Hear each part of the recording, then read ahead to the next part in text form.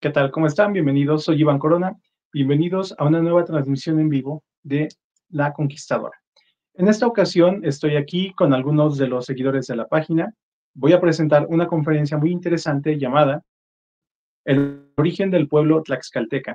Y en esta pequeña consideración vamos a remontarnos a los orígenes étnicos, culturales y mitológicos del pueblo tlaxcalteca, que nos va a llevar a recordar esta migración de los chimecas guiados por su dios Kamashli, pero también vamos a ver que hubo otros grupos étnicos que se asentaron en el territorio tlaxcalteca y que forman parte del origen de los tlaxcaltecas.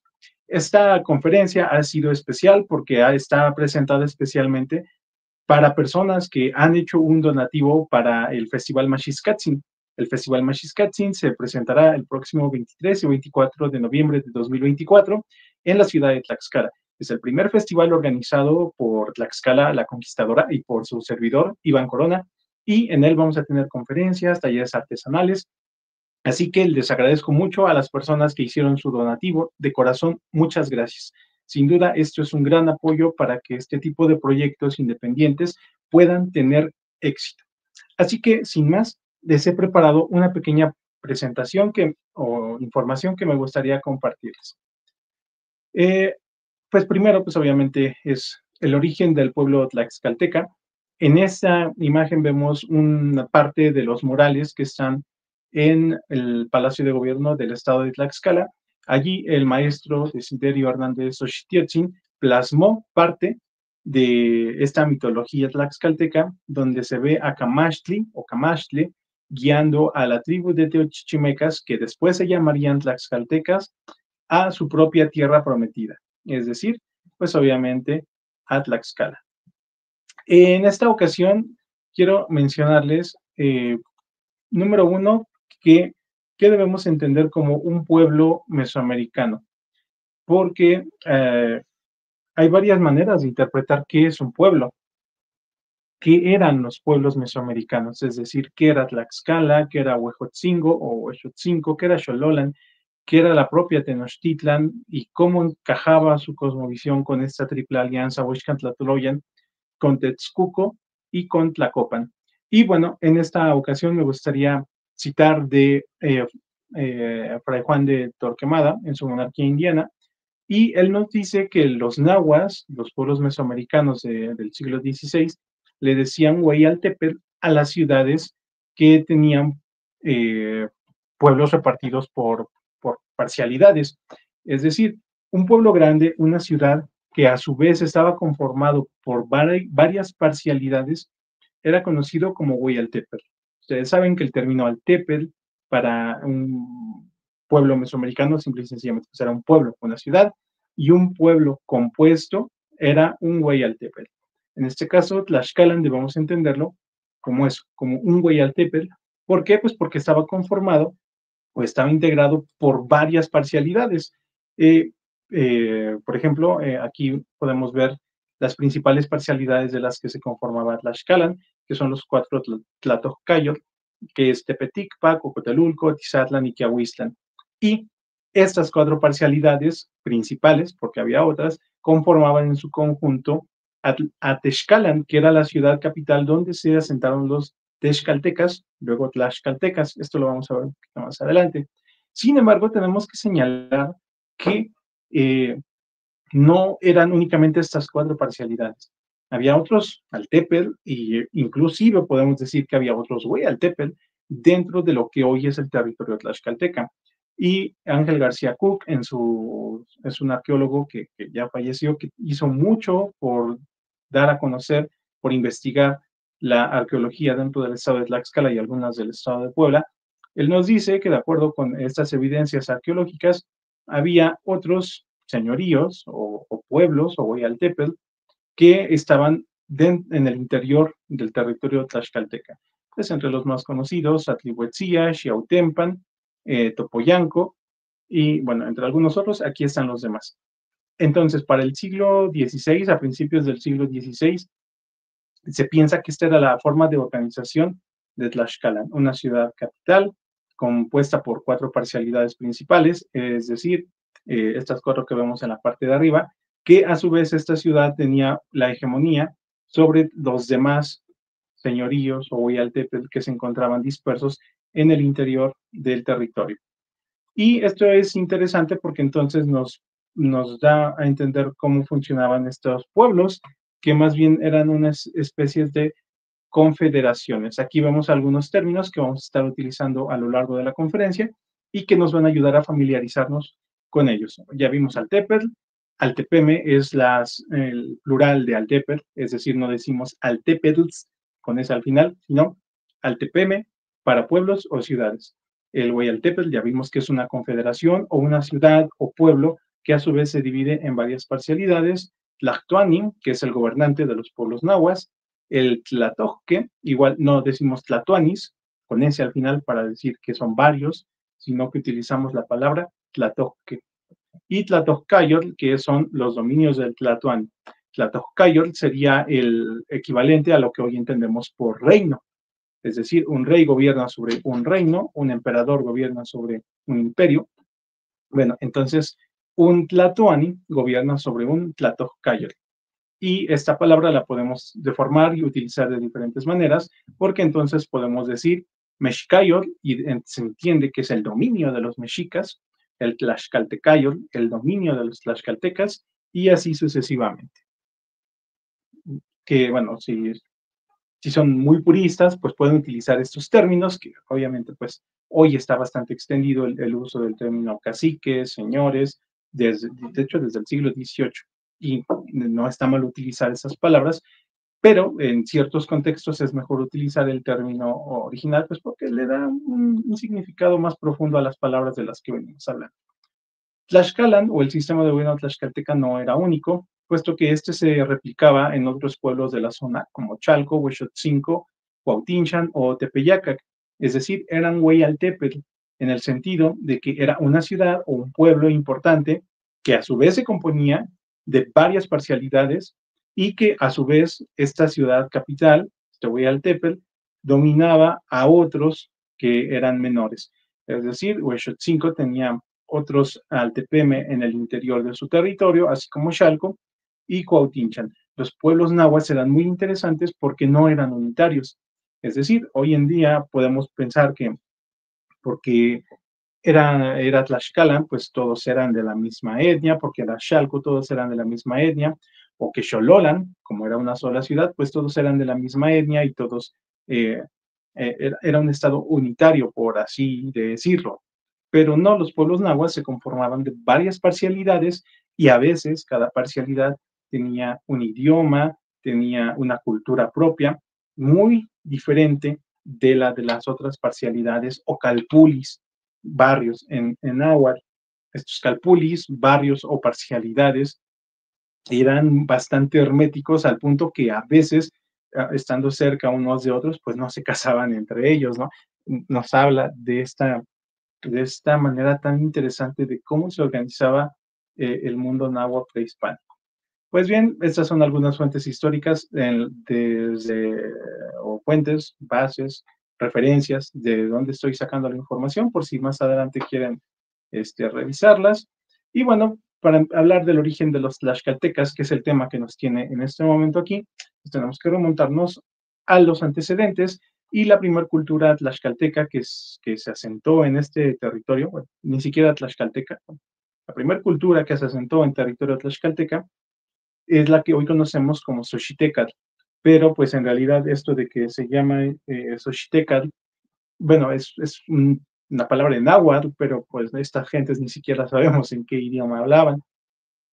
Esta zona arqueológica de Xochitecatl fue una ciudad eh, bastante antigua, es decir, tuvo su origen, o se, se, cree que tuvo, empezó a florecer por allá del 800 antes de Cristo, y tuvo su fin en el año alrededor, obviamente, del año 100 después de Cristo o ya de nuestra era común.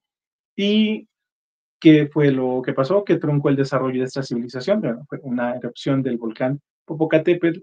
El, de esta erupción hizo cambios climáticos y de suelo. En esa época, pues la gente dependía de, de la agricultura. Se modificaron el suelo, se modificó el ciclo agrícola y la ciudad finalmente fue abandonada.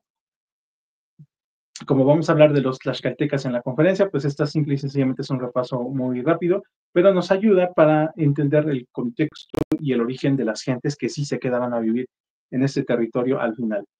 Eh, se cree, se piensa, se, especula que las gentes que vivían en Xochiteca y que sobrevivieron, al final pues se fueron a vivir a, a, lo que, a otras ciudades que apenas empezaban a surgir para cuando Xochiteca cayó y son ciudades muy conocidas, Teotihuacán y Xololan, que bueno, no era Xololan, tenía obviamente otro nombre, pero bueno, el, asentamiento que allí, que allí existía. Y posteriormente tenemos que hablar obviamente de Cacaxla. Hubo una época, eh, un breve periodo de tiempo, ah, digámoslo así, breve, viéndolo ya desde esta perspectiva histórica, ¿no? Entre el año 100 y el año 600, 650, donde no hubo una cultura o una civilización importante que se haya desarrollado en, el territorio. Seguramente hubo gente, pero pues eran nómadas o no tenían asentamientos este, muy grandes, no sobrevivieron, no hay evidencias de que haya asentamientos en aquella época, sino hasta cuando surge Cacaxla, por allá del año 650 ya de nuestra era, y que vuelvo a insistir, este nombre de Cacaxtla, pues está, es un nombre en náhuatl, porque pues bueno, fue el nombre que se, se, le adjudicó, pero volvemos a lo mismo, no sabemos qué idioma hablaban estas gentes, no sabemos este, muchos rasgos de su cultura, sabemos algo acerca de su aspecto por los murales que, que dejaron en esta ciudad, donde podemos ver a dos personas eh, o bueno, a varias personas, ¿no? Pero específicamente a dos grupos de personas, unas con un aspecto físico más marcado hacia, lo, hacia el típico, la típica persona que vive en la zona sureste del país, maya, y otras que tienen rasgos físicos que se asemejan más a las personas que viven en la zona del altiplano central, es decir, este, pues más como nosotros, por así decirlo. ¿no? Había este, estas dos personas representadas en los murales, que nos indica que al igual que los pueblos nahuas ya del siglo XVI, ya desde la época de Cacaxla, había ciudades que tenían varias etnias conviviendo dentro de ellas. Cacaxla tiene su fin por allá del año 950. Se piensa que también fue debido a, la erupción del volcán Popocatépetl, pero eh, decirles que eh, he buscado referencias de que hubiera una erupción del volcán Popocatépetl por esa época y eh, no he encontrado ninguna. O sea, eh, por ahí recuerdo haber visto esta referencia de Maricarmen Sarrapuche eh, en el libro que habla sobre esto, de por qué cayó Cacaxla y brinda esta explicación, pero este, bueno, hasta ahí la referencia que tengo. Y bueno, pues esta es una imagen del conjunto de Cacaxla Xochitecatl, que en realidad deberíamos de llamarlo Xochitecatl Cacaxla, porque Xochitecatl fue una ciudad anterior a Cacaxla. Luego, cuando llegaron los, los de Cacaxla, uh, Cacaxtlecas, ah, no sé cuál sería el, el gentilicio, digámosle Cacaxtlecas, estos este, se asentaron a unos dos kilómetros de las antiguas ciudades de Xuxtecat y esta uh, antigua ciudad la recuperaron y la volvieron a, utilizar como una especie de recinto ceremonial, una zona sagrada donde estaba dedicada específicamente para actividades religiosas. Y, e incluso le hicieron ampliaciones porque algunos de los edificios de Xochitecat fueron ampliados durante la ocupación de los cacaxtlecas y, eh, insisto, fue utilizada para eventos ceremoniales de esta época hay que señalar que ya existen representaciones de algunas eh, deidades mesoamericanas. Por ejemplo, se ve a una Cihuacóatl, es decir, a una serpiente con cabeza de mujer, una Cihuacóatl, una diosa que ya después en el periodo posclásico también sería este, venerada como una diosa. Entonces, vemos que ya había un desarrollo de la cultura eh, pues digámoslo así, primitivo, bueno, no primitivo, primigenio de lo que después vendría a ser la, la religión mesoamericana. Y bueno, este es el contexto histórico. No tenemos fuentes escritas de, de la historia de los cacaxtlecas más allá de sus morales y de Xochitecas, pues mucho menos. Donde ya tenemos referencias este, más eh, desarrolladas, historias este, como nosotros las entenderíamos, ya es hasta la época del siglo XVI. Todos los códices y citas que ahorita vamos a mencionar son del siglo XVI.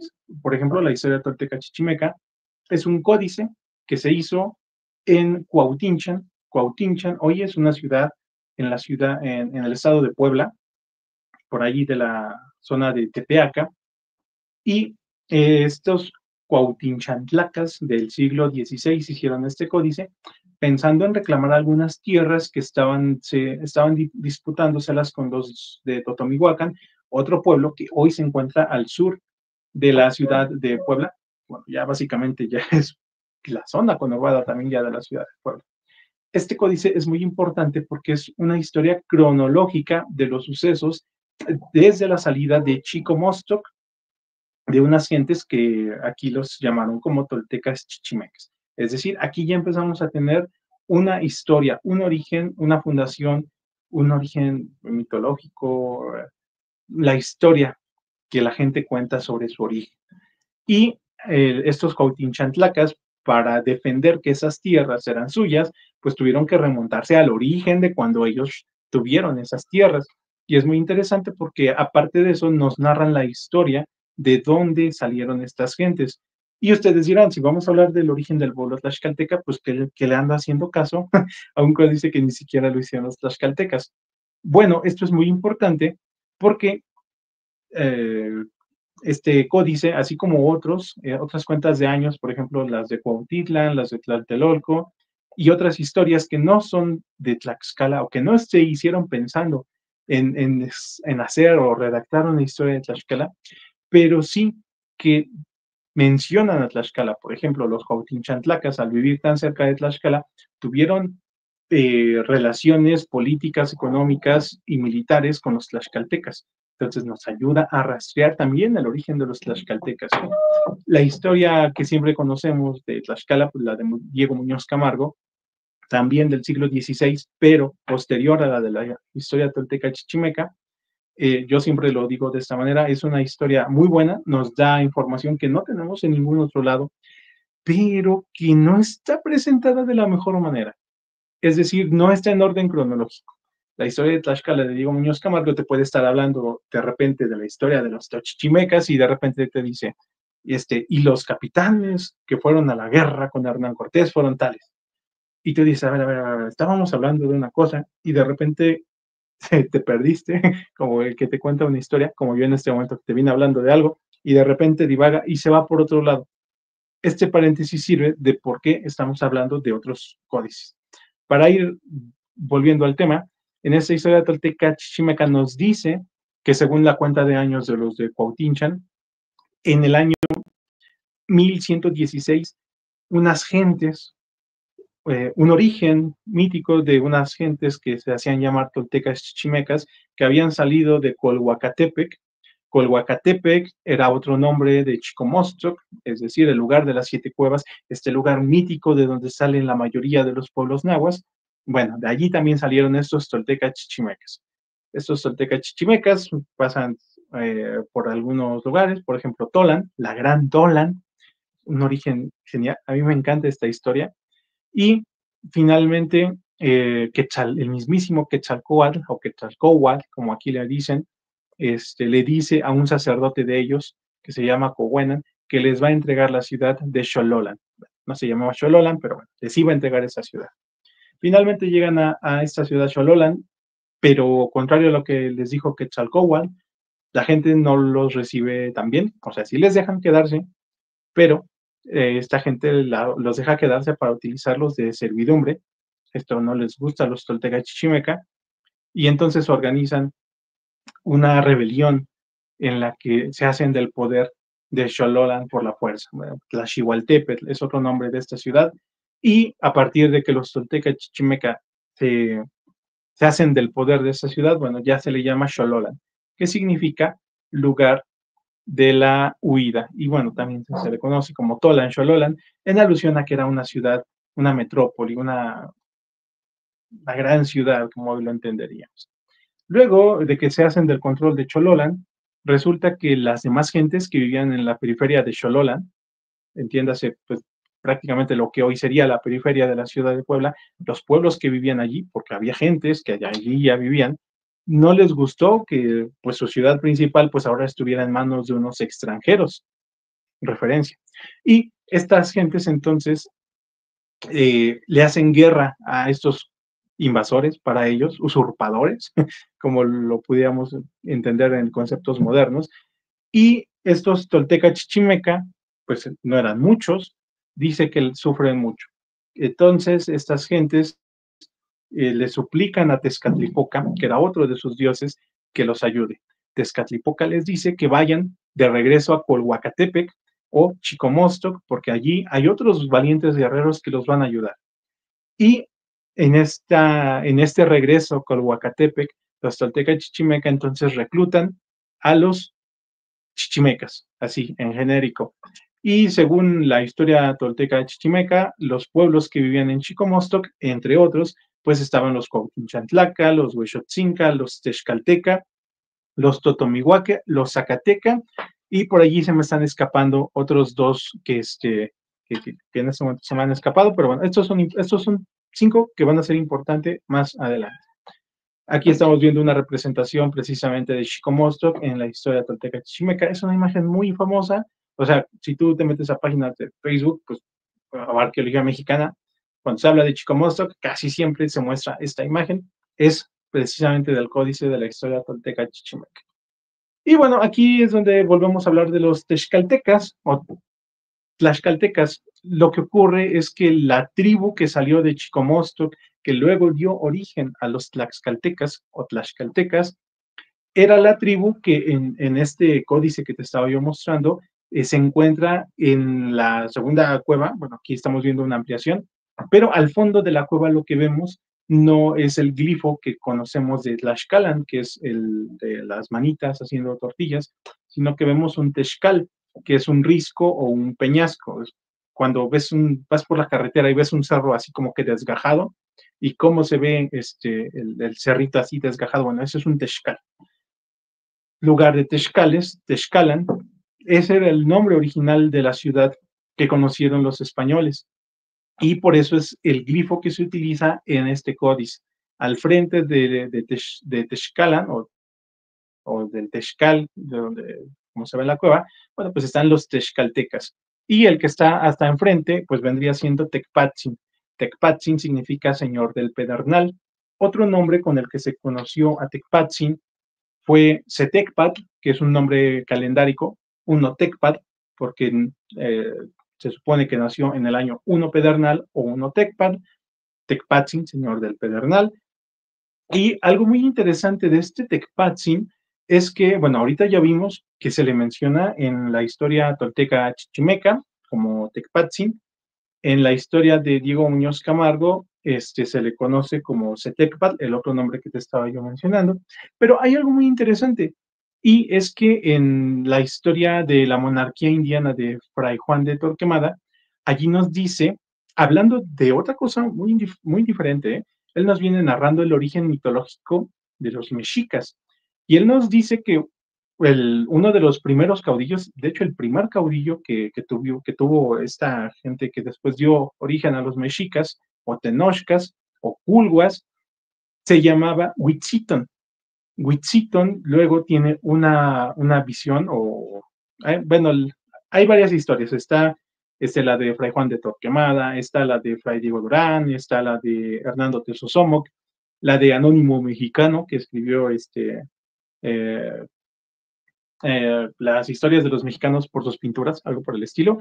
Hay varias historias, ¿no? Sobre el origen mitológico de los mexicas, Aslan o Aslan y todo eso, pero bueno, Básicamente es que este Witziton, porque todos mencionan a Witziton de uno con variaciones, puede ser este Witziton, este, tiene otras variaciones su nombre, creo que también es este, ah, se me escaparon en este momento las variaciones, pero bueno, este mismo personaje tiene un hermano y en Fray Juan de Torquemada a su hermano de Witziton, que es Witziton, el origen de los mexicas, el hermano de Witziton se llamaba Tecpatzin. ¿De quién veníamos hablando? Exacto, de Tecpatzin. Entonces, aquí es donde podemos entrelazar entre las muchas historias que existen, cómo había un origen común de todas estas gentes y nos dicen que Huitziton eh, se le, le hablaba, o bien unas fuentes dicen que era un colibrí, otras simple y sencillamente dicen que era un pájaro, otras dicen que era un tlacatecolor, que era este, algo así como una especie de, de dios que se manifestaba a través de un ave, el punto que era, eh, este era relacionado con un ave y que al mismo tiempo era una deidad, algo sobrenatural. Esta le dice a Huitziton que le diga a su hermano Tecpatzin, otras, lo único que dice que se llama Tecpatzin es Fray Juan de Torquemada. Las otras fuentes no dicen el nombre de su hermano, o incluso este Hernando Tesosomoc dice que no se acuerda de cuál era el nombre de, este hermano, de, de Huitziton. En fin, bueno, le dice este esta ave deidificada, o Dios, o el Dios, otros dicen que era este mismísimo este, Huitzilopochtli. Está, hay, cada historia te lo presenta de diferente modo. Que le diga a su hermano Tecpatzin que salgan de donde estaban, se entiende que de Aztlán o de Chicomostoc, en algunas otras fuentes, porque este Dios les va a dar una tierra prometida y Tecpatzin no le cree a su hermano en primera instancia, pero bueno, finalmente accede a los deseos de su hermano y emprenden la salida hacia su peregrinaje, hacia su migración, a su origen cósmico, mitológico, a su evento canon, en las palabras que tú quieras utilizar. Pero de esto nos quedamos con que Tecpatzin, Tecpatzin mencionado por la historia tolteca chichimeca y por Fray Juan de Torquemada, tiene relación con este hermano de Huitziton, que este Huitziton después sería elevado a la categoría de Dios y sería adorado con el nombre de Huitzilopochtli. Y esto es bastante interesante porque nos menciona, ahí tengo un video en el canal de Tlaxcala la Conquistadora en la que eh, menciono que es posible, eh, tomando como fuente estas, como base estas fuentes históricas, como sustento, que entonces los tlaxcaltecas y los mexicas tuvieran antepasados comunes que inclusive hayan sido hermanos. Y es que después se dice que hubo rivalidad entre estos hermanos porque según este, las crónicas o la fuente de Fray Juan de Torquemada y otras más, dicen que había rivalidad, que Huitziton decía que él era el único aprobado por, por este Huitzilopochtli o este Tlacatecolro o este colibrí, y que le dijo que tenía que seguir la migración él solo, porque los elegidos pues eran los del bando de Huitziton, no los de Tecpachtli. Es un, origen mitológico bastante interesante, ¿no lo creen? En fin, bueno, aquí vemos otras representaciones de Tecpatzin en la historia tolteca chichimeca. Este, allí nos dicen que una vez que los reclutan en Chicomostoc, aquí en, este código pues, son, van a traerlos, ¿no? En las, en las otras fuentes históricas son ellos los que salen por, por iniciativa propia.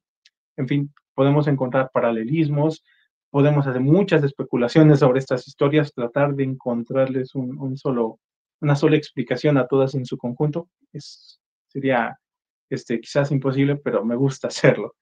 Y bueno, aquí vemos que este Tecpatzin este, fue alimentado, eh, o bueno, un jaguar le llevaba de comer y le, daba, le llevaba agua eh, a través de un ritual por el que tuvo que pasar para acceder al rango de Tecutli.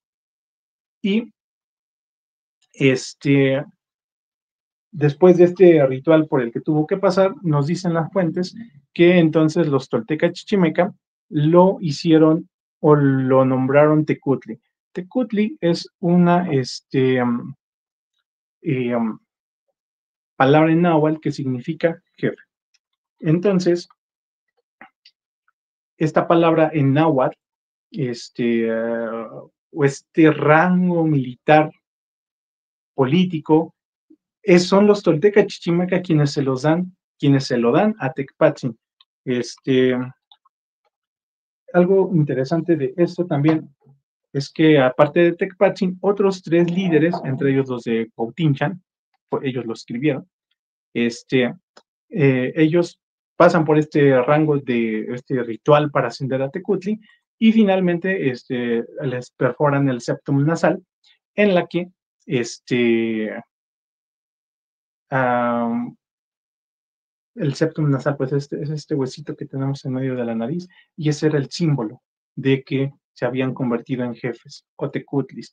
Y esto es muy interesante porque luego en la historia de Tlaxcala de Diego Muñoz Camargo nos dicen que para que un tlaxcalteca ya del siglo XVI ascendiera al rango de tecutli por méritos militares o por, este, por la razón que haya sido, tenía que pasar también por un ritual, es decir, se conservan entonces estas memorias de que no era cualquier cosa, había que pasar por un ritual y de hecho que se incluía precisamente la autoflagelación como lo estábamos viendo en esta imagen anterior, donde pues ahí vemos que tiene en la mano este, púas de maguey, donde tenía que autoflagelarse este, este Tecpachi. En fin, este, por aquí tenemos la, la cita que yo les decía de Fray Juan de Torquemada, de este, de Wichiton, la historia de Tecpatzin, de cómo se relacionan, cómo es muy posible que estos dos fueran hermanos. Esta es la, la, cita de Historia de los Mexicanos por sus pinturas,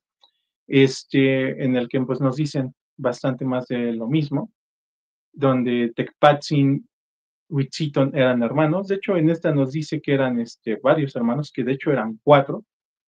Y tiene sentido que no todas las historias se cuenten igual, porque dependiendo, si tú tienes familia, este, pues a veces lo, una historia familiar o una tradición oral de tu familia, de algún antepasado tuyo, se cuenta diferente dependiendo de a qué familiar le preguntes. Es decir, tú, si es algo de tu tatarabuelo, tu familia de tu mamá o de tu abuelo tiene una versión de la historia, pero el resto de tus abuelos, tus primos, pues tienen una versión con ciertos matices, con ciertos detalles, porque pues por, que ellos lo están viendo desde una perspectiva diferente. Del mismo modo, podemos entender que los códices, cuando nos mencionan el origen mitológico de sus pueblos, tengan versiones o perspectivas diferentes porque pues lo estaban viendo desde su perspectiva de ellos, es decir, el códice de la historia tolteca chichimeca, pues estaban viendo su origen desde la perspectiva Chantlaca. Y la historia de Tlaxcala de Diego Muñoz Camargo, pues estaba viendo esta misma historia pues desde la perspectiva tlaxcalteca tiene sentido que existan estas variaciones. Esta, esta me encanta porque mm, es muy clara esta historia de los mexicanos por sus pinturas, donde nos dice que Camaxtle y Huitzilopochtli eran hermanos. No los menciona por nombre, este, ni Huitziton ni Tecpachin, que es lo que veníamos hablando, pero sí por sus nombres ya de deidades, Camaxtle y este, Huitzilopochtli o Huichilobi como lo escribe aquí, ¿no? Donde dice que este Camacho lo, nació todo colorado y que pues lo adoraban en Tlaxcala y que uno de sus hermanos, este, pues era Huitzilopochtli. en fin. Curioso que aquí nos dice que el, el, más grande, pues este, era este Camacho. Si quieres ah, más referencias de esta hipótesis, hipótesis, pero yo creo con bastante sustento de que Tecpachi, Setecpat Camashle, Camashle o Mishkowal eran en realidad la misma persona y que a su vez esta misma persona, que es una persona que realmente existió, una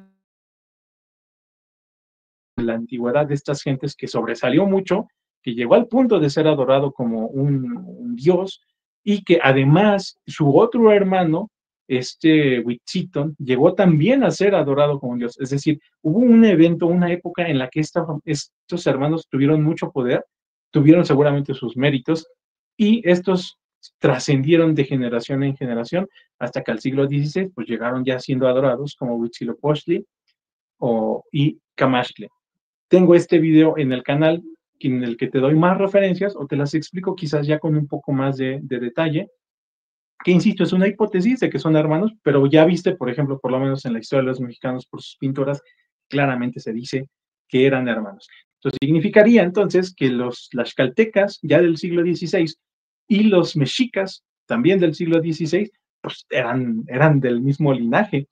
Y esto es muy interesante porque en Fernando de Alba Ixtlilxóchitl, en, ah, cuando empieza a hablar de los conflictos entre entre tlaxcaltecas y mexicas, hay una parte muy interesante, de hecho ya es cuando está este, presente también Hernán Cortés, este, um, en la que nos dice que ah, está sentado Hernán Cortés, está sentado este, los embajadores mexicas que acompañaban a Hernán Cortés durante todo el camino desde Veracruz, y también llega allí una delegación tlaxcalteca, estaban allí en la zona de Tecoac o Tzompancinco, y empiezan a discutir mexicas y tlaxcaltecas en frente de Cortés este, por los problemas militares que han tenido.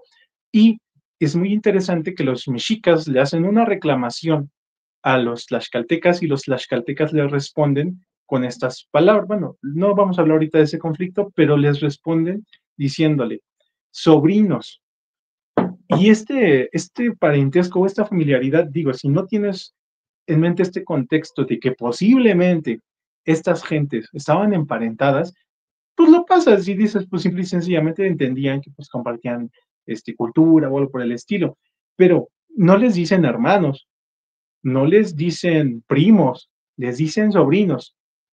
Y en teoría, si entendemos que las, los descendientes de Huitzilopochtli este, y los descendientes de Camaxle, ellos se asumían como si estuvieran en, un rango superior porque estaban en Tlaxcala, les llaman sobrinos, como si fueran los hijos, pues ya, ya me entendiste el hilo, ¿no? Entonces, creo yo que esto es algo que, que realmente lo entendían en, en, el siglo XVI estas gentes, pero ya por los conflictos que tenían en esa época, pues ya no lo quisieron dejar tan claro, ¿no? Así como que, ah, como que ya, ya no se sentían parte de esa misma familia, que desde el principio pues vimos que sí tenían sus, sus diferencias. Volviendo al origen mitológico, bueno, este, este grupo de Huitziton y Tecpatzin, que eran hermanos, se separan. Huitziton se lleva su gente, se va por su lado, y obviamente, este, pues Tecpatzin hace lo mismo con su gente. Y es interesantísimo que eh, esta imagen que estamos viendo en pantalla es una fotografía que saqué del Museo Regional de Tlaxcala. Museo Regional o Museo de la Memoria, no recuerdo. Si no me equivoco, es el Museo Regional. Este, que creo yo es la mejor imagen que existe. Este, bueno, no la foto, porque no, no es de muy buena definición, pero sí la imagen en sí, porque podemos aquí ver la ruta que siguieron los tlaxcaltecas o los teochichimecas durante su migración. Y vemos que pasaron por Poyautlán, eh, entre otros, de ahí de Poyautlán, unos se dividen, unos se van para el norte, para Tulancingo, otros se van por el sur, pasan por Xolola, pasan por Cuautinchan, llegan hasta el pico de Orizaba o Citlaltepec en, en aquel este, entonces, y entonces regresan y ya entran en lo que es territorio de que hoy conocemos como Tlaxcala. Y esto es interesante porque también pasan por Chalco, y esto tiene una razón de ser. Resulta que en Chalco en Cuautinchan, en Tepeyacac, en Zacatlán y en Ixtacamachtitlan, las crónicas nos dicen que cuando conquistaban sus templos los mexicas o sus pueblos, destruían el templo y ponen de Ixtacamachtitlan, eh, o en otros específicamente dicen Camaxtle, sin ningún apodo. Entonces nos da a entender aunque le pongan el Istac, significa simple y sencillamente pues que es de otro color, pero que es el mismo, que es ¿no? Una, una, una perspectiva diferente de este antepasado común. Y la historia de Tlaxcala de Diego Muñoz Camargo nos dice lo mismo, que allá por donde pasaba esta tribu, en los pueblos que ya existían se iban quedando gentes de esta tribu hasta que finalmente llegaron a Tlaxcala. Entonces, estas gentes de, de lo que hoy vendría siendo, pues básicamente el estado de Puebla, lo que es este, Huixotzinco, Cuautinchan, Zacatlán, en realidad todos compartían en cierto sentido una afiliación étnica. ¿Por qué? Pues porque todos en algún momento habían acogido a una parte de este grupo de teochichimecas y ¿te acuerdas que al principio estábamos hablando de cómo se organizaban los pueblos mesoamericanos? De que estaban conformados en parcialidades, Altepel, pueblo, o Altepel, una ciudad con varias parcialidades, bueno, pues los teochimecas llegaban y formaban su propia parcialidad, su propio calpuli dentro de los pueblos que ya existían, también en Xololan. Y esto, esto nos deja entender pues que en todos estos lados había teochichimecas que entendían en su origen, en su mitología, que compartían rasgos o origen con los tlaxcaltecas. Eh, otro pueblo que también este, se menciona que, que se quedaron tlaxcaltecas fue Cuauquechola. Ya me estaba escapando.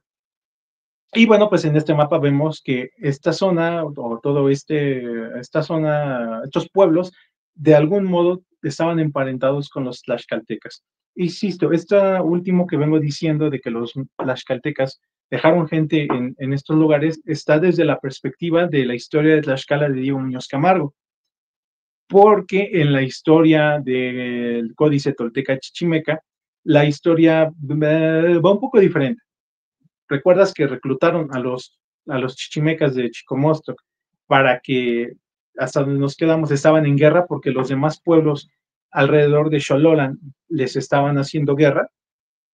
Van, los reclutan, con su ayuda logran someter a estos pueblos que dicen que eran siete, siete pueblos que estaban sujetos a Xololan antes de que llegaran los Tolteca Chichimeca, los someten y una vez que logran esta victoria, los Tolteca Chichimeca les agradecen el apoyo a las siete tribus de, de Chicomostoc y les dicen que la llanura, que todo el valle está a su disposición para que vayan y que se asienten y que formen sus propios pueblos. Entonces vemos que la perspectiva cambia. En la perspectiva tlaxcalteca son ellos los que por iniciativa propia hacen esta migración por toda esta zona de los volcanes o entre volcanes y en la historia Tolteca Chichimeca es al revés, son los Tolteca Chichimeca quienes les dan el permiso o los mandan a que vayan y que pueblen estos lugares. Según la historia eh, Tolteca Chichimeca, el epicentro de todos estos pueblos era Xololan. Curioso, ¿no? Y esto yo le doy mucha, mucha veracidad porque siendo un códice hecho en Cuautinchan, pero que los Cuautinchantlakas te digan que el epicentro de todos estos pueblos era Xololan, pues no, no aunque tiene sus rasgos de etnocentrismos este códice, pero no tanto, ¿no? Reconocen que había un pueblo, una tola, una metrópoli en esta zona. En cambio, los tlaxcaltecas, pues ya no, ya no hacen tanta mención de este pueblo principal, de esta Xolola.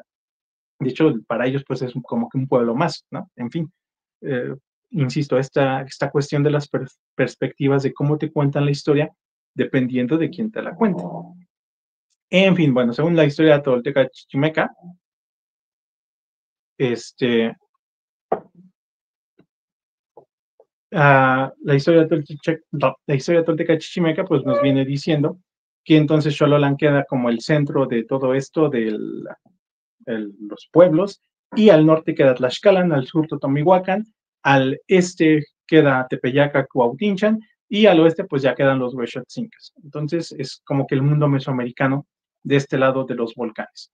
Por aquí tuve un pequeño detalle, permítanme, porque se me acaba de cerrar la presentación. En un momento se las vuelvo a poner. Y bueno, uh, ¿es esta? Sí, ok. Veníamos hasta por aquí, Cacashla, ya vimos la historia de Tolteca Chichimeca, los códices, Tecpatzin, Camastle, estábamos por acá. Y bueno, eh, veníamos hablando de que Xololan pues se queda entonces como el centro de estos pueblos, que de hecho tiene sustento histórico porque recuerda que Xololan era considerada como una meca americana porque se, era el, centro religioso. De hecho, la gente de Cuautinchan y de Tepeyacac iban a Xololan, es decir, moría un Tlactuani, y entonces cuando llegaba al poder el siguiente, tenía que ir a Xololan a que lo ratificaran allá se entiende que tenía bastante poder Xololan. Y poco después entonces de que se hacen ya del control de Xololan y ya cada pueblo jala por su lado, el códice de la historia tolteca chichimeca nos hace mención de algo que también se señala en Muñoz Camargo, y es que en el año 5 eh, Tecpat, Ulhuatecutli, no, perdón, en el año 9 Tecpat, Ulhuatecutli es asediado este, por los Huexotzincas. Culhuatecutlicuanesh fue eh, uno de los caudillos de esta tribu de teochichimecas, que eh, recuerdas que dijimos que venían vagando por, por toda esta zona de lo que hoy es el Valle Poblano Tlaxcalteca. Bueno, para la época en la que llegan a lo que hoy es Texcalticpac o el Cerro Cuautzin, o donde se fundó Tlaxcala, bueno, por esa época el caudillo se llamaba Culhuatecutlicuanesh y es el que estamos viendo aquí en, en el códice de la historia tolteca chichimeca. Aunque aquí el glifo toponímico que le aparece, si ves que es un pescado, porque es Nimich, mm, es decir, aquí no aparece el, como nombre este, Culhuatecutlicuanesh, sino Mimich, Pero hay un trabajo de Luis Reyes García en el que nos señala que esta aparente contradicción se explica porque Mimich era un antepasado de Culhuatecutli Cuanch. Entonces, como eh, con un ejemplo bíblico, ¿no? Cuando se hablaba de la casa de David, este, haciendo referencia al rey que estuviera en ese momento, que era de la casa de David. Bueno, en este caso era Culhuatecutli Cuanch, del linaje de Mimich, ¿no? Algo por el estilo. Y bueno, nos dice que en este año, este, en el año 5 Tecpat llegaron los teotichimecas a esta zona, que es Texcalticpac. Hoy es una zona arqueológica en la cima del Cerro Cuauhtzin y en esta, en esta zona estaba una fortaleza, bueno, está, porque ahí sigue, una fortaleza que era este, de los Olmecas Xicalancas, la misma gente que vivía en la zona de Xololan. También los expulsan, ¿no? Y estos Olmecas Xicalancas que vivían en esta fortaleza, que según Diego Muñoz Camargo en su momento se llamaba Xicalanco, que yo no creo que ese fuera su nombre, Xicalanco, porque también está en náhuatl, este, se, se, entiende que los Olmecas Xicalancas tenían su propio idioma, sino que este de Xicalanco se refiere al nombre de este lugar, pero antes de que ellos llegaran. Pero bueno. Y este Culhuatecutlicuanes lidera a esta tribu de teochichimecas que venía con él y asedian la fortaleza y la toman en el año de 5 Tecpat. Eh, no me voy a meter en muchos detalles sobre... Eh, ahí tengo un video específico en el que, nos, en el que explico la fecha del 5 Tecpat, pero ahorita para irnos este, acortando, diremos que es en el año 1224. Es que la, si has leído la historia de Tlaxcala de Diego Muñoz Camargo, si no me equivoco, se dice que es en el año 1380, pero no lo dice Diego Muñoz Camargo, sino que es una nota al pie de página de la historia de Diego Muñoz Camargo, hecha por Alfredo Chavero, 1892, insisto. Este sería irnos otra media hora aquí solo con ese tema, pero yo creo que más adelante también este, lo volveré a explicar en otra conferencia o en otra transmisión en vivo. En fin, este Culhuatecutlicoanesh, cuatro años después, es decir, si llegó en el 5 Tecpal, cuatro años después, en el año 9 Tecpal, es asediado por los Huexotzincas. Y esto tiene paralelismos, porque recuerdas que te venía yo diciendo que según el códice de la historia Tolteca Chichimeca, los Tolteca Chichimeca llegan a Xololan, se hacen del poder y luego al año siguiente se le revelan los pueblos que vivían en la zona, entonces, según la historia de Tlaxcala de Diego Muñoz Camargo, es a los teochichimecas cuando llegan a Texcalticpac, la cima de los peñascos, este, que llegan en el año 5 Tecpac, que toman la fortaleza y cuatro años después los pueblos de la zona lo atacan, eh, son paralelismos que vamos encontrando que, este, o sea, no, no porque sean falsos, sino que, o son patrones que se repiten en, en estas historias mesoamericanas del siglo XVI. Y es la imagen que estamos viendo. Nos dice entonces el códice de la historia tolteca chichimeca, que esto me encanta porque nos confirma lo que nos dice Muñoz Camargo, que realmente en el año 9 Tecpat, los huexotzincas que mandaron a, a, pedir ayuda a los mexicas, que en ese momento eran vasallos de los tepanecas, para que expulsaran a estos teochichimecas de este lugar que consideraban como parte de su zona de influencia. Y aquí vemos a Culhuatecutlicuanes precisamente siendo asediado por estos huexotzincas. El códice de la historia tolteca chichimeca nos dice que los, de, los tepeyacacas, tepeyac, tepeyacaucas y los cautinchantlaccas ayudaron a los texcaltecas en esta guerra y que finalmente este, terminaron ganando y obligaron a los huexotzincas a hacer un, una especie de tratado de paz, definir linderos, áreas de influencia de cada uno y, digamos así, este sería el origen de estos dos pueblos y de sus linderos. Desde esta época habrían hecho esa, esa, esa delimitación. Y este uh, Texcalticpac vuelve a repetir el patrón mesoamericano de fundar pueblos, es decir, pasó de ser un altepet, es decir, una fortaleza que estaba hasta arriba de este cerro, para empezar a, a fundar parcialidades. Eh, tenía un hermano que se llamaba Teyuhualminqui, y cuando Culhuatecutlicuanesh ya era viejo, le cede la mitad de sus conquistas a su hermano menor y una parte de, de esta parte del Cerro de la base, y al pie, o en la parte llana de ahí de este cerro, se funda Ocotelulco, Porte y. Y aquí podemos ver una imagen en la que los arqueólogos han reconstruido cómo era la ciudad de Texcalan. Podemos ver que en la parte de hasta arriba eh, es el, la, la fortaleza de Texcalticpac. Texcalticpac significa en la cima de los riscos o peñascos. Luego, eh, aquí podemos ver a, los barrios, calpulis o parcialidades que conformaban esta ciudad, entre los que, pues, obviamente los más conocidos, pues eran Ocotelulco, Iquiahuistlan y Tizatlan no formaba parte en sí de esta aglomeración urbana, sino que la podemos ver aquí a su derecha con un pequeño cuadrito azul. No estaba específicamente conurbada, pero sí a unos escasos metros. Si ya desde la ciudad de Tlaxcala, pues sabes que está ahí Tizatlan y Ocotelulco están como 15 minutos a lo mucho, este, unos de otros de distancia. El conjunto de esta zona urbana se conoció como Texcalan. Texcalan significa lugar de riscos o peñascos, diferente a Texcalticpa, que es en la cima de los riscos o peñascos. Esta, fue, esta es la ciudad que conoció Hernán Cortés, así la conoció. Estos eran los Calpuli. La ciudad de Tlaxcala que hoy conocemos se funda hasta por allá del 1526, si tomamos como su, origen la, referencia de Juan Buenaventura Zapata y Mendoza. Pero obviamente, pues esto se fue construyendo con el paso de los siglos. Dijimos que los texcaltecas llegaron a, a Texcalticpac en el año 1224 y en el transcurso de varios siglos, pues se fue expandiendo la ciudad, la zona conurbada, y obviamente fue sometiendo posiblemente por la vía militar o por, este, por alianzas, a los demás pueblos que veíamos aquí al principio. Te los voy a volver a poner en, las imágenes. Ah, dijimos que la ciudad, la capital de, toda la, provincia, todo el Huayaltepetl, pues era Texcalan, pero como dijimos al principio, a su vez incluía estos demás Altepetl o Huayaltepetl menores, que, insisto, pudo ser que hay, hay varias hipótesis, ¿no? Hay algunos en específico que dicen que sí fueron mismos teochichimecas de aquí de Texcalan que fueron y que fueron a poblar en tal lugar, pero pues la mayoría de estos posiblemente eran pueblos de origen olmeca y chicalanca que no fueron sometidos por los teochichimecas, que no fueron exiliados por los teochichimecas y que simple y sencillamente aceptaron el dominio de o, se sometieron voluntariamente al poder de los texcaltecas, de estos teochichimecas que apenas habían llegado. En cuanto a los olmecas chicalancas que vivían en Texcalticpac, en la, serra, en la cima del cerro, Diego Muñoz Camargo nos dice que los exiliaron y que se fueron a vivir o que terminaron viviendo en lo que hoy es Zacatlán.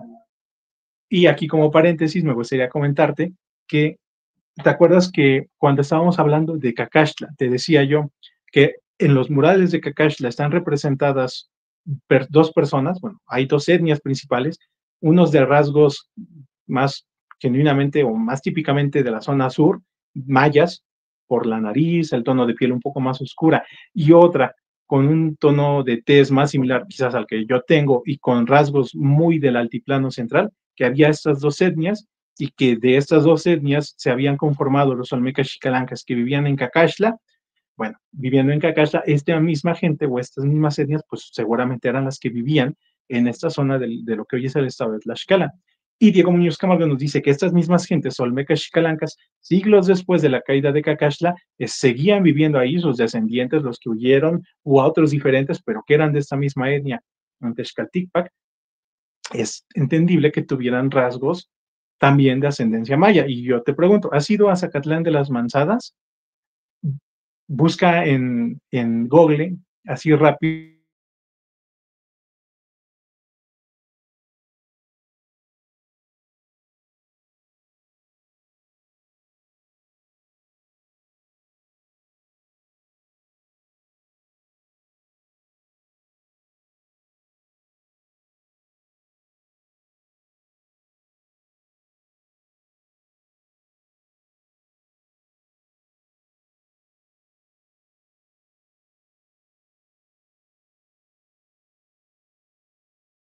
históricas con cosas que tú puedes ver hoy, hoy este, en, en, las, en las comunidades de las que venimos hablando.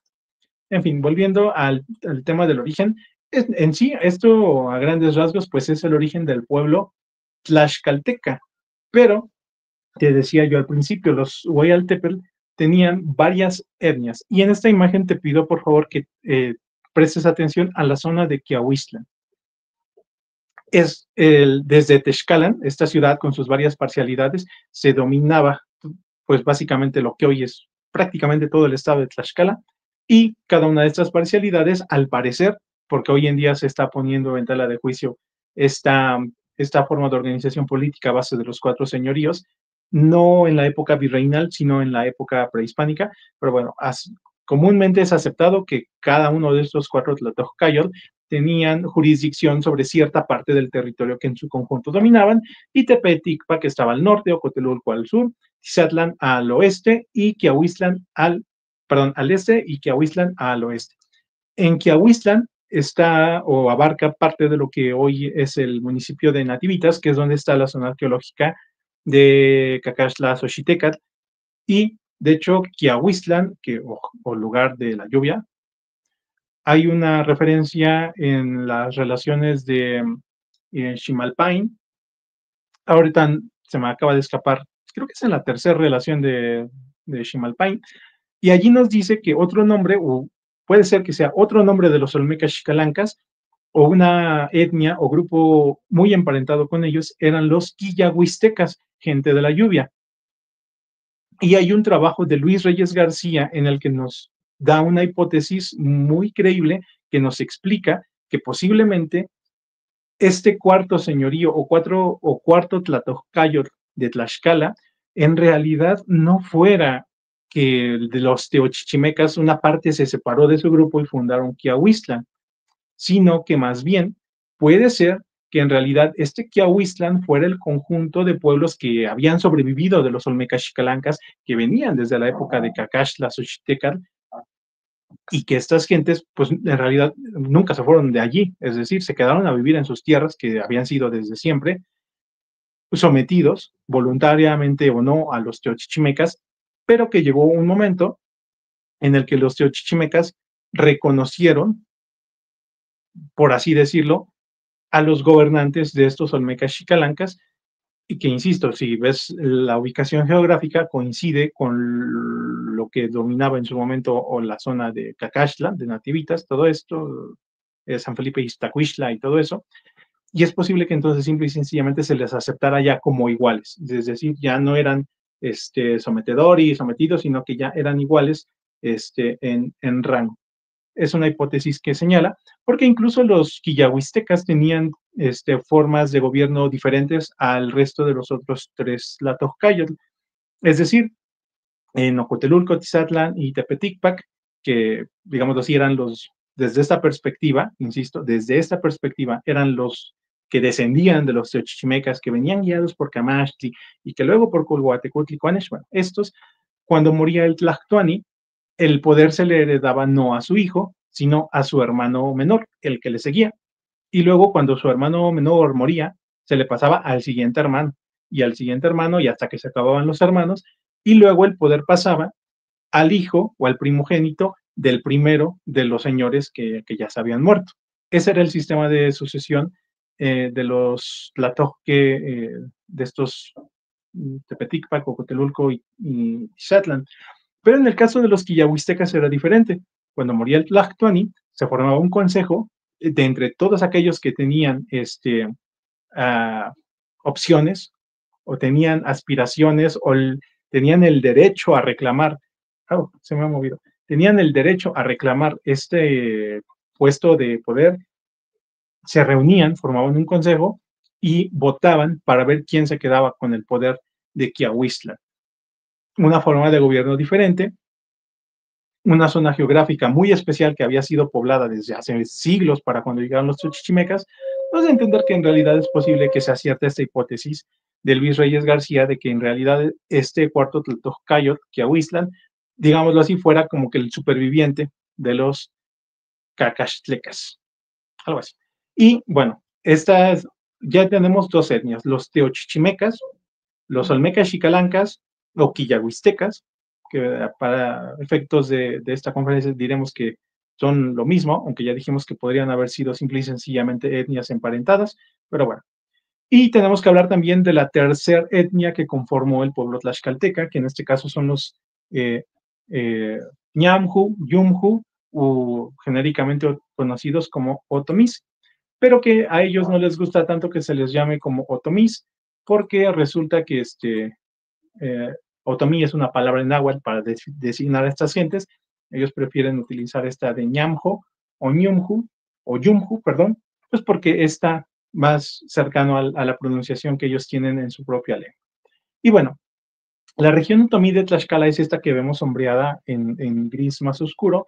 Este mapa está tomado de Andrea Martínez Barax, 1519, un gobierno de indios, Tlaxcala, 1519-1750, y eh, es la zona otomí de, de Tlaxcala. Los otomíes llegaron a Tlaxcala y también tienen su propio origen mitológico, fundacional.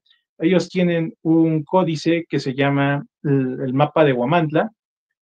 Este, y en este mapa de Huamantla nos vienen diciendo que ellos salieron de un lugar similar al chico Mostoc mesoamericano, este, porque se entiende que es un origen, aunque hay otras perspectivas de otros historiadores que yo he visto, en la que señalan que en realidad este, este Chiapan en realidad sí era un lugar físico que posiblemente esté relacionado con cuando los mexicas y, los tepanecas de la zona del altiplano central, pues estaban en plena expansión y estaban en esta zona expulsando a los otomís, matlatzincas, este, eh, de, de esa zona, y que provocaron un movimiento migratorio de gente de refugiados que iban huyendo de estas zonas que iban cayendo en manos o de los tepanecas o de los mexicas, que eran pueblos expansionistas.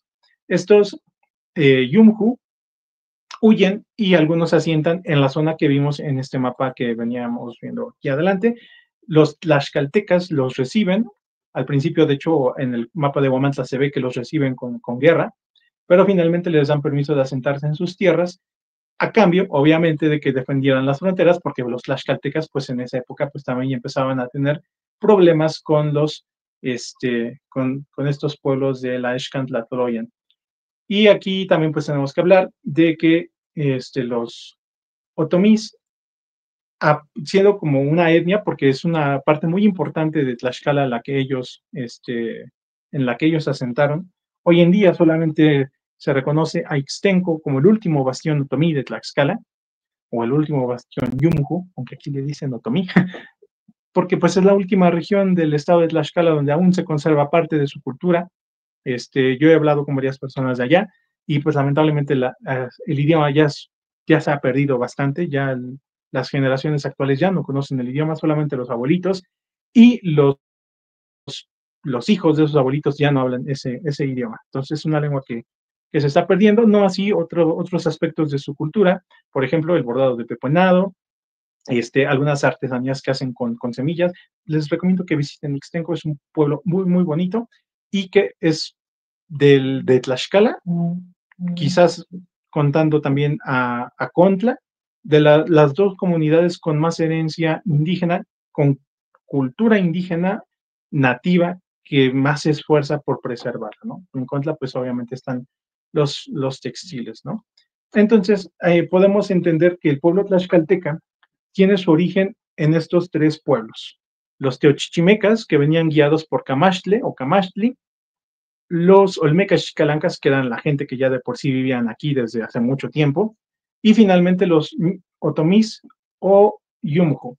Y en esta imagen es, una, es un, pequeño mapa, una reconstrucción de cuál fue la expansión del imperio tepaneca ¿Y por qué lo incluye en esta presentación? Bueno, porque precisamente hablando del expansionismo de estos pueblos, en, ah, en varias épocas eh, o en varias fechas tuvieron enfrentamientos con Chalco y con otros pueblos. Y aparte de estas tres etnias principales que ya mencionamos, que son los uh, teochichimecas, los olmecas chicalancas y los yumju, también en Tlaxcala se, uh, se hicieron o hubo refugiados de Chalco la historia de Juan Buenaventura Zapata y Mendoza, la historia cronológica, nos dice que los chalcas les dieron tierras en Topoyanco y en, el códice de la historia tolteca chichimeca, el que también veníamos analizando, nos dice que también hubo refugiados totomihuaques y este, chololtecas aquí en Tlaxcala. Entonces, eh, si hablamos de un origen étnico, pues habría también que, añadir pues que también hubo estos agregados a, los tlaxcaltecas. Y bueno, en esta, en esta imagen está están representadas otras imágenes de la historia tolteca chichimeca que nos cuentan la conquista de, de Cuautinchan y de Tepeyacac por los mexicas. Es una historia bastante interesante. Y eh, pues básicamente eh, estamos llegando ya al final de la presentación. Yo es lo que les quería compartir este día, el origen del pueblo tlaxcalteca. Cuando se habla de Tlaxcala, siempre se habla de, de Camachtli, de su enfrentamiento con los mexicas, muy, digamos así, incluso yo a veces me quejo, ¿no? De que hay muchas páginas que se enfocan del mundo prehispánico, pero pues siempre te hablan de los mexicas.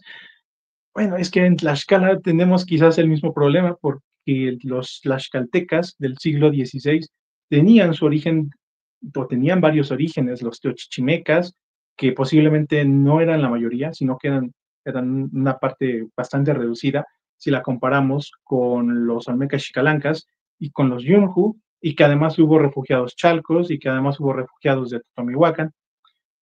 En conjunto, estos pueblos dieron o conformaban el Huayaltepetl Tlaxcalan que conoció en 1519 Hernán Cortés y que en ese momento pues dio origen a un mestizaje adicional. Es decir, porque después pues también hubo españoles que se casaron con, con tlaxcaltecas y que bueno, finalmente también son parte de nuestros ancestros o de nuestro origen. En, esto es increíble porque a veces pensamos en los pueblos mesoamericanos como unitarios, es decir, estos eran mexicas, estos eran huexotzincas, estos eran tlaxcaltecas y como que pensamos que pues todos eran lo mismo. Pero ya cuando te pones a, analizar al, detalle el origen de estos, te das cuenta que el mestizaje se da, mestizaje ah, se entiende como la mezcla de culturas o de etnias, no el mestizaje este, de razas, porque las razas pues no, es, es, un concepto que ya está en desuso, pero sí un mestizaje a nivel cultural y étnico. Y es que eh, cuando llegas a Tlaxcala, cuando visitas Tlaxcala, este, siempre ves el letrero que dice cuna del mestizaje y siempre se hace alusión al mestizaje. Los murales de Diego, de Desiderio de Xochitiotzin, donde está este, Chicotencas con Hernán Cortés, se utiliza siempre como este símbolo del mestizaje entre europeos y americanos, y por eso se dice que Tlaxcala es la cuna del mestizaje, pero cuando te das cuenta de este panorama completo, te das, ves que el Tlaxcala es el cuna del mestizaje, uff, quién sabe desde cuándo, porque ya desde la época de los Olmecas Chicalancas ya estaban estos, estas gentes que se parecen más a los mayas actuales y los del altiplano, entonces creo, creo que eso de, del mestizaje deberíamos ya de cambiar el concepto de cómo lo entendemos. En fin, pues a, las personas que están conectadas en esta ocasión, les agradezco de corazón que, se, que hayan tomado unos, unos minutos de su día para estar aquí conmigo, escuchando este, cómo, cómo hablo y hablo y hablo. Si quieren este, comentar algo, por ahí está la opción de, de chat, está una ventanita por ahí que dice chat privado si quieren dejar este, por allí algún comentario. Dice, no se oye, ya, ah, ok, hasta apenas lo vengo a leer. Espero que sí se haya escuchado el resto de la conferencia desde ese punto. Eso fue 13, 14, ah, ok, sí, sí, sí se escucha. Muy bien. Y bueno, también pues agradecerles de corazón. Esta conferencia se hizo a través de, un, de sus donaciones, de sus aportaciones para el Festival Mashiskatsin del próximo 23 y 24 de noviembre.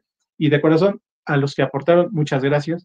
Hubo quienes incluso este, la donación sugerida eran 100 pesos, hubo quienes, hubo, hubo quienes dieron más que eso. De corazón, muchas gracias. De verdad que ustedes saben que las conferencias casi siempre este, son gratuitas y abiertas a todo el público en general, e incluso las que siempre son para miembros del canal, los suscriptores, al mes o dos meses, pues están disponibles para todo el público. Les agradezco de, de, corazón que se hayan conectado. Por aquí tenemos este, un comentario de Gilberto. Amigo, eres casi una biblioteca. Aquí en casa me dicen que voy a terminar volviendo loco después de, de, estudiar, leer todo esto. Entonces, gracias, gracias. Este, por ahí, si quieren dejar por ahí algún comentario o algún saludo, pues ahí está disponible el chat. Este, de antemano, pues decirles que entre otras cosas, seguramente ya ven la información completa del cartel del, festival, vamos a tener música. Justo ahorita, unos minutos antes de que empezara yo la conferencia, me estaba mandando mensaje este, eh, Saavedra, que es el contacto que tengo con la Asociación Mexicana de Recreadores Históricos, y él me decía, este, como, como ya, ya, les comenté, pues el, festival es a través de patrocinios, de donaciones, de aportaciones, y hubo un hotel, Hotel Estocali, que, que, puso la camiseta y dijo, nosotros ponemos el hospedaje para los invitados y gracias a Hoteles Tocali. Si vienen a Tlaxcala, les recomiendo que se hospeden en Hoteles Tocali por, por ese detalle y ese gesto que han tenido con el festival. Pero ellos me decían, tengo espacio pues para tantas gentes, ¿no? Es entendible. Y pues vienen también de Bustamante, vienen de San Luis Potosí. Y dijimos, bueno, para los recreadores históricos, pues hay tantos lugares disponibles. Y me decía este Manuel, en su momento cuando hicimos el contacto, ¿cuántas personas pueden venir? Y dije, pues tengo espacio para tantas, ¿no? Porque pues, es el hospedaje que hay. Y ahorita me decía, oye, y me están comentando los chicos que, que si pueden venir al festival, aunque vengan en su carro y aunque vengan por sus medios y aunque no se queden en el hotel y aunque vayan y regresen, ¿se, se podrá? Y yo, no, hombre, pues cómo no se va a poder, al contrario, que, que vengan, este, aquí los recibimos y aunque sea un pollo rostizado, les vamos a comprar, pero, pero pues sí, obviamente que sí. Entonces, gracias porque este, la Asociación Mexicana de Recreadores Históricos pues no me está cobrando por la presentación y, y los conferencistas pues tampoco, solamente las presentaciones musicales. Entonces, créanme que el Festival Mashiskatzin, aunque tiene el logo de Tlaxcala la Conquistadora, créanme que el que ha hecho menos para ese festival soy yo. Son ustedes los que han hecho y van a hacer posible que este festival se lleve a cabo. Muchas gracias. De corazón, un abrazo. Por aquí tenemos otro comentario. Dice, una colaboración con Zunzunegui creo que sería muy buena para ambos. Con Zunzunegui. Ya, ya me he etiquetado varias veces, sí. Este, fíjate que yo cuando vi que hizo una, este, eh, una colaboración con Franco Escamilla, dije sí, nada más para conseguir el contacto de Franco Escamilla, ya vale la pena. en fin, este, esperemos que sí. Hay, hay más tiempo que vida y a lo largo del espacio pues he tratado de invitar a todo tipo de divulgadores, con todo tipo de perspectivas y seguramente que, esperemos que algún día este, pues se haga esta colaboración. Este, otros me han dicho también que Atlacaelel. Entonces, eh, entonces, eh, este, hay con las personas que, que, que, hay este, acercamientos y que aunque tengamos ah, pensamientos o ideas diferentes, colaboramos. Ya saben que hay otras gentes que este, tenemos ideas diferentes, pero pues, no hay, cero respeto de por medio, entonces pues con esas gentes no, no se puede. Pero de ahí en fuera, este, el programa está abierto para quienes quieran venir, para quienes quieran compartir un poco de sus conocimientos pues con el público en general. Tlaxcala la Conquistadora sea, sea este, las personas, los divulgadores, los historiadores, la han, convertido pues en una, en una fuente de conocimiento porque tú entras y encuentras un montón de, invitados con perspectivas diferentes. He tenido artesanos, he tenido músicos, he tenido este, historiadores, arqueólogos.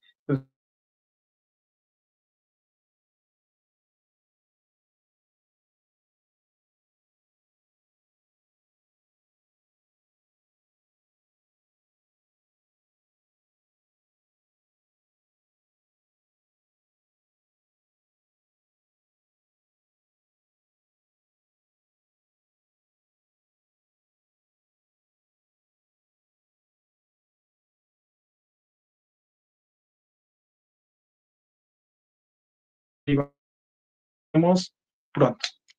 Bye.